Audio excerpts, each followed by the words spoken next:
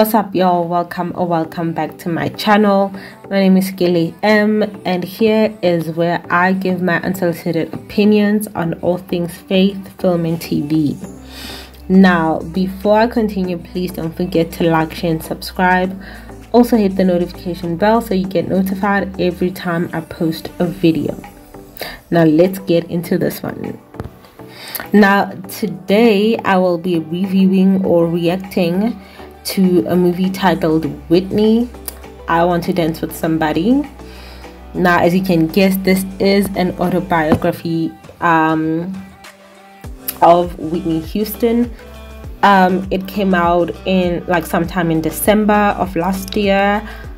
I honestly just I didn't even know about this movie. It popped up on this um, website that I watch movies on sometimes. I stream movies on this website called Soap Today and it popped up. I went on on online and it was there. And so i decided to watch it. Initially i thought it was a documentary since a lot of a lot of whitney houston films are documentaries. Like it, it it's never been there's never been an actual movie. But this was a movie like a feature film an actual film now, since it is an autobiography, it is based on the life of Whitney Houston. Um, I'm not entirely sure how much of it is accurate. Me personally, whenever I see a film like a feature film, um, depicting the life of someone who was alive, like any of these celebrities, I just think 10% of whatever I'm seeing is true, and then the rest is just, you know, fabricated. That's just how I watch these films. So, in terms of um, depicting or showing an, a celebrity story, I prefer documentaries over films. Uh, but like I said, I stumbled on this one. I did think it was a documentary, so when I watched it, I when I clicked on the and the icon i thought i was actually to watch because i didn't even read the description. I thought i was to watch a documentary. Turns out it was a movie. Um so yeah it is based on the life and times of whitney houston up until i want to say the last day of her life. Um so yeah. Regarding the film because i have like watched a couple of whitney houston documentaries uh, not a couple. I've only watched two Whitney Houston documentaries. Uh, but because I have seen some documentaries of Whitney Houston, there were, I did have some expectations of what I wanted to see. Um, I guess you could call them ex- expectations. Um, and for the most part, they were met my expectations for the most part in terms of the storyline um, so basically, if you have seen there's this documentary by Whitney, uh, I mean, um, yeah, there's this Whitney Houston documentary called Whitney, Just Whitney. It's basically that um, in a movie version, basically. So the a lot of whatever was mentioned or whatever said or whatever I had seen on the documentary Whitney I saw on this film. Um, so basically, what they did is they touched on Whitney Houston's relationship with her parents, uh, Bobby Brown, Robyn Crawford, and Clive Davis, who is apparently one of the producers of this film. Do with that whatever you will. but yeah, it turns out Clive Davis is a producer in terms of the relationships i'm okay. I mean those i, I think are pretty significant relationships um, that should be highlighted of course. But i would have loved for them to also basically highlight or portray uh, whitney houston's relationship with her brothers her two brothers.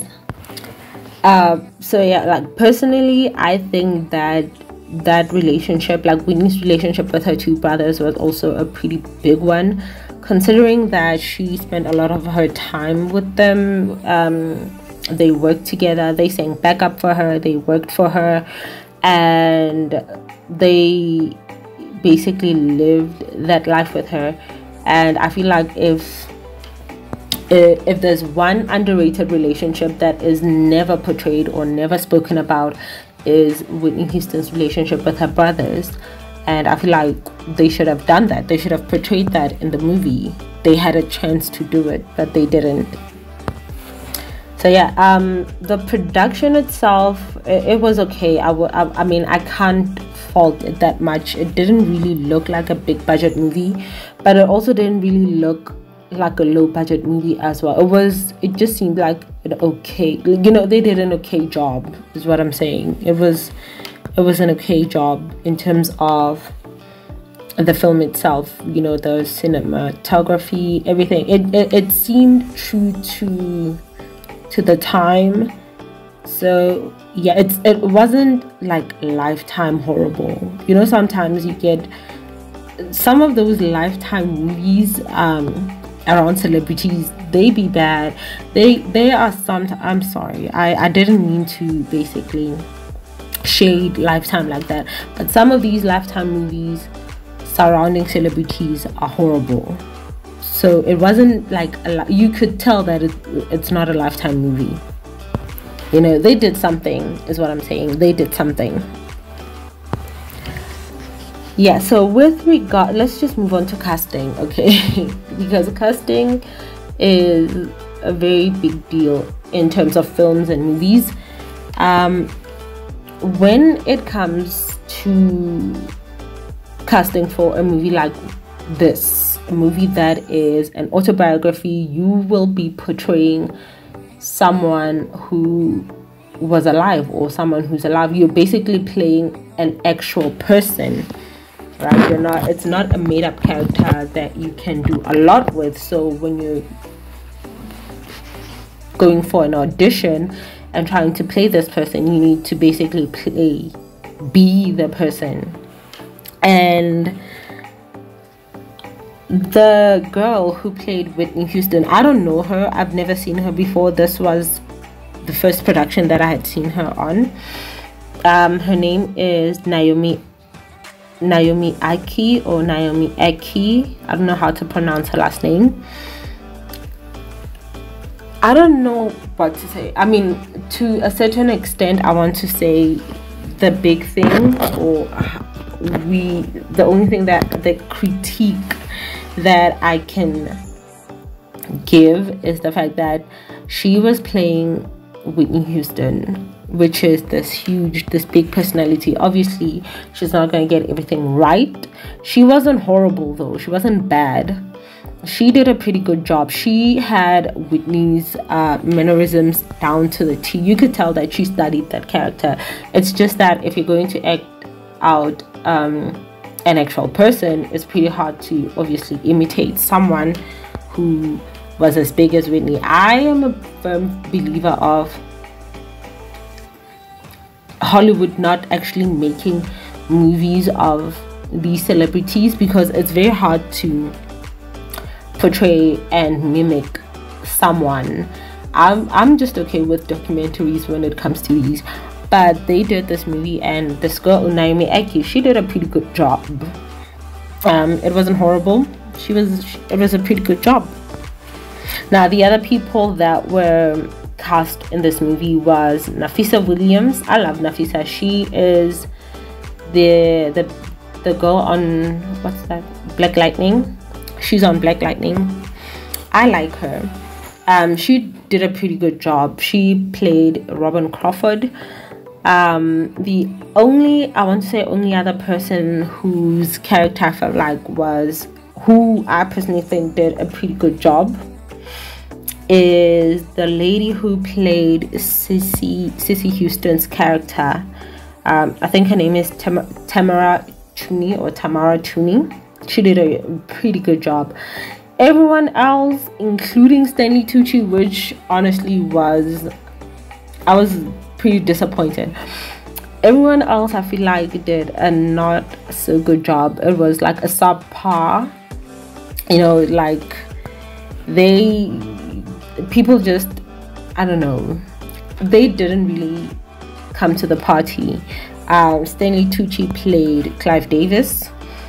Um, this a guy who played Bobby Brown was also not so good. I think she did. I mean, he did a pretty bad job. His name is Ashton Sanders. I've never also seen him. I've never seen some of these people.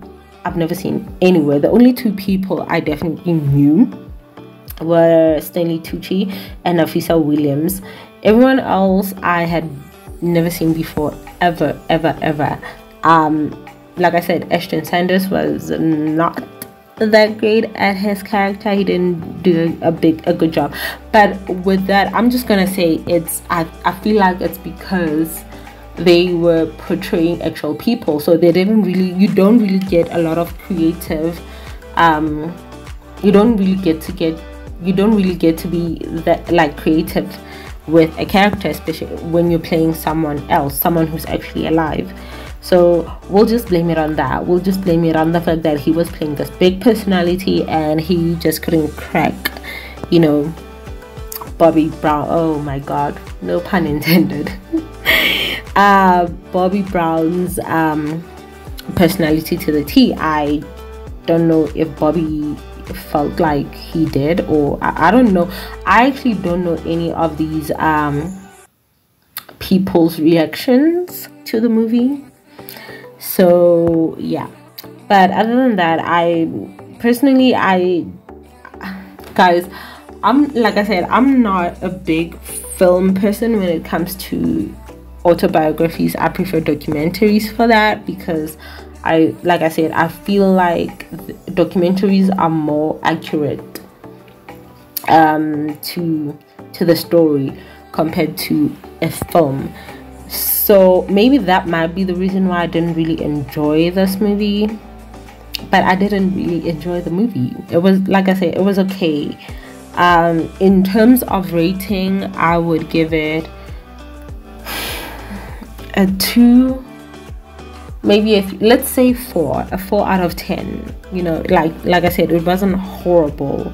It's just it wasn't really my cup of tea so i guess yeah like afford but it but it all depends on your taste in movies i guess uh, but if you really want my opinion i would say you don't waste your time you don't really have to watch this movie it, it's it's not worth it is what i'm saying. It's not worth the i think it was two hours. So it's not worth wasting your time. Do something else if you can. Um so yeah that's it. Anyway that's my two cents on this particular movie. Um if you guys like this video don't forget to like share and subscribe. I hope you guys like this video. God bless you and i'll see you on the next one